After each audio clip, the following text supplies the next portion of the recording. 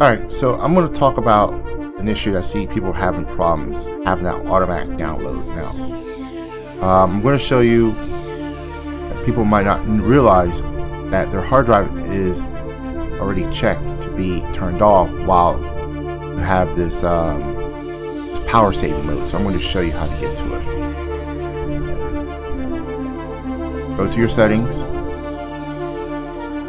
Right here, power and startup. Go to power mode and startup.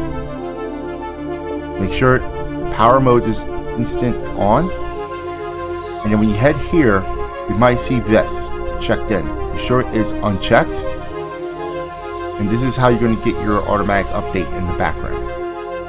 So be sure that's checked off and you're instant on. Alright guys, take care.